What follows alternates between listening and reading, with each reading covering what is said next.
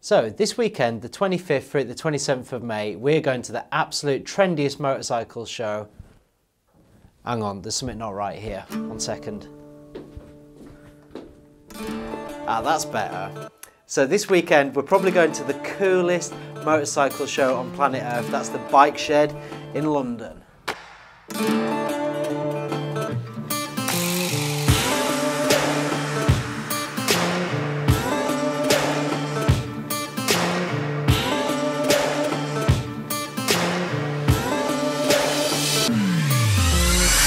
So we're super proud to be exhibiting at this one, celebrating the absolute best from the custom bike scene. At the bike shed, the bikes are shinier, the beer's hoppier, and the beards are even bushier.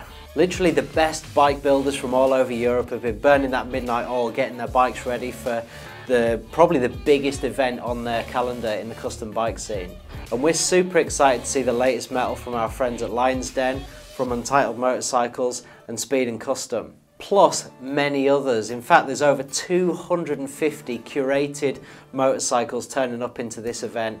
It's going to be a feast for your eyes. So this year we're going to have a really strong presence. We'll be exhibiting the latest from the Knox collection, specially selected for the Bike Shed show, and we'll be showing our latest technology in our Shield sweatshirts and our single layer riding technology.